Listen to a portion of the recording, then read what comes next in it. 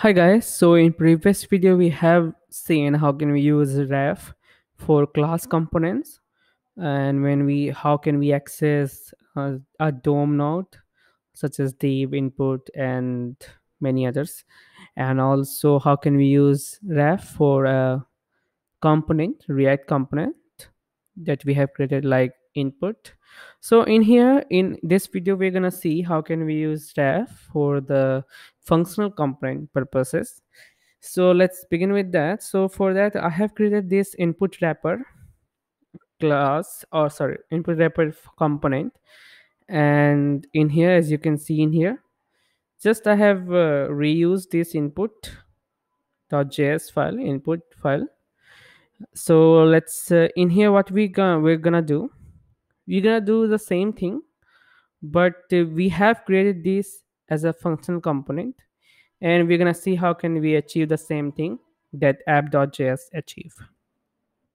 So first of all i'm going to use const creating a input ref and i'm going to use react dot and the hooks that we can use for this is use ref the same thing as a create ref. And you have to provide in here as a null initialize value. And next what we can do just pass in here the ref one ref as a props and just pass in input ref. And you can do the same thing for the dom also but uh, let's see for this first. So in here as you can see that we have passed this input ref in here. And what i'm going to use i'm going to use uh, sorry we can use react.use effect so what i want to do is i want to focus on the second input also. So how can we achieve that? For achieving it uh, what is the input in here? What we can use? We can use this handle click right? We can use this handle click or just uh, uh, purpose like what we got in here. We can just first of all we can console in here and see what we get inside this input ref dot current. Yeah. So let's see. So what we get? We get again the same thing that we get from a class component create ref. And i'm going to use this handle click. Or maybe it will not work in here but let's see it is working or not. So yeah as you can see here we got this handle click again or in the uh, second one. We got the focus in here so at the time we only got focus at one time at one point of time right? So by doing this as you can see in here that uh, as the app progress like app.js render this render and it will goes to this input wrapper. So in here this react.use effect such as a component mount will run first. That's why the focus will not come in the first input but uh, come in the second input. So we got the focus in here. Now one thing to remember that the parent component if it's a function then you can pass the ref uh, in a dom node such as input one okay? Or a class component such as uh, input one. You cannot pass this ref into a functional component as a child. If it is a child component eh, yes it is a child component input but if it is a functional component you cannot just pass ref inside it. So for demonstrating this part of thing what i'm going to use i'm going to create a input 2 okay i'm going to create an input 2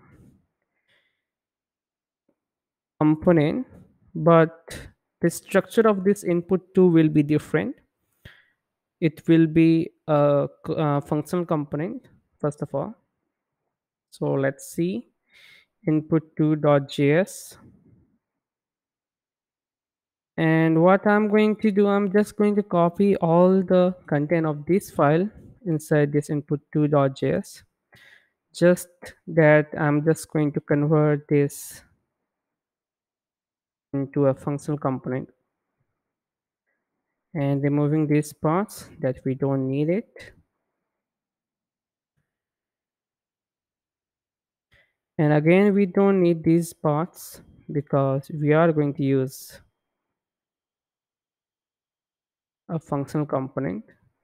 So again we're going to use a const input ref not this use ref because it's a hook.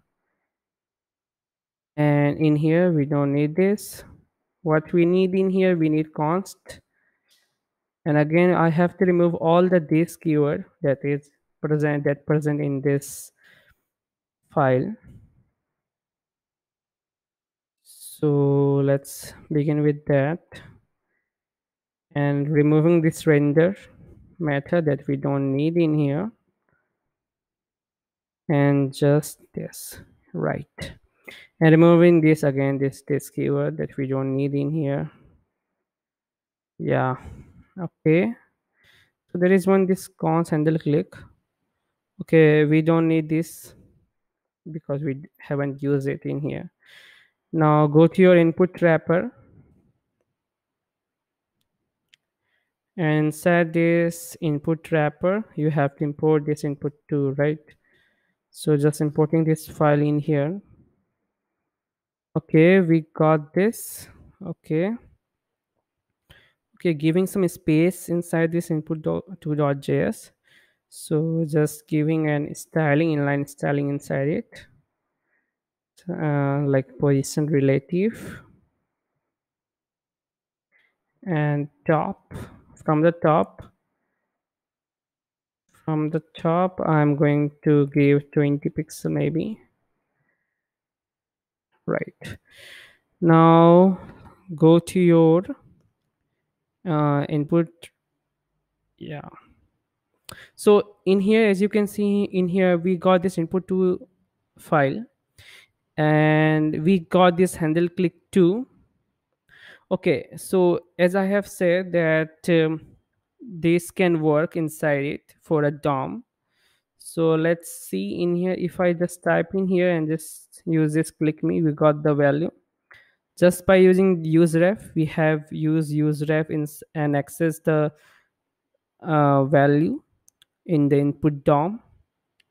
Now, as I have said, we haven't used for a functional component as I have haven't passed it in here.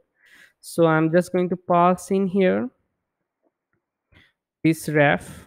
Okay. Okay, we got this ref and I'm just going to pass this input ref. Okay, and I'm just going to remove this ref. We don't need this right now okay so just removing this yeah so let's see what the warning we may get or a error we may get so the handle cannot read property of handle. Okay so we have to remove this part also right for now. Okay let's see now what we get. So functional component cannot give ref attempt to access this ref will fail. And did you mean react dot forward ref? Okay. Okay. So we have to use in this child component a means called forward ref right? So the same thing that we have used like forward ref we are going to wrap this function inside it. And we get inside this forward ref two argument. The first one is props. If anything you are going to pass from this uh, input wrapper in here and second one is ref. That's the part that you have passed in here using this input ref. Okay so in here as you can see here this ref is like uh, outside of these props. Okay now in here we don't need these things because eventually this ref will be given to a given uh, passed to a dom element right so the same thing we have to do.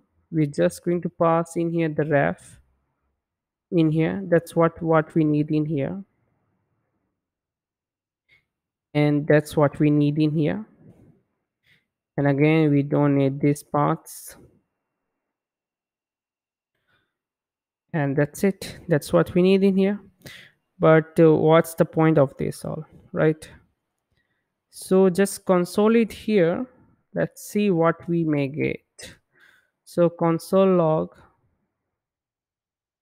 input ref dot current.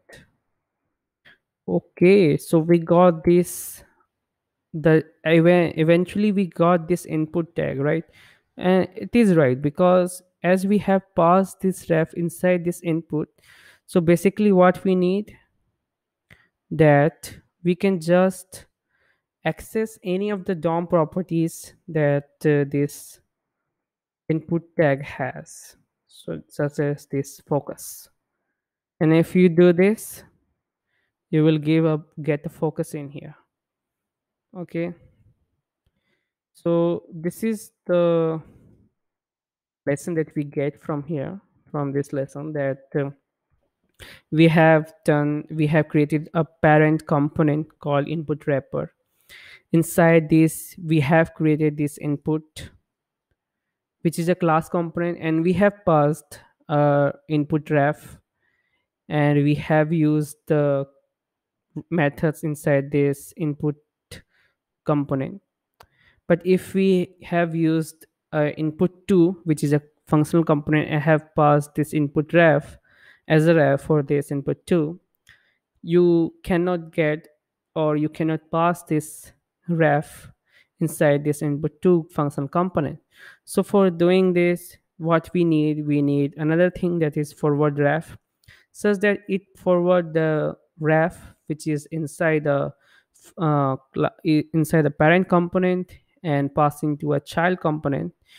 And in here you have these two parameters that is props and ref and props is different in here props is different from the ref. And just passing the ref in here input tag you can access the input DOM using the current properties and do anything with it that input does. So yeah. So we have learned or understand this ref concept in here. And stay tuned for the next video. In the next video may, we are going to learn context. Yeah that's all. Thanks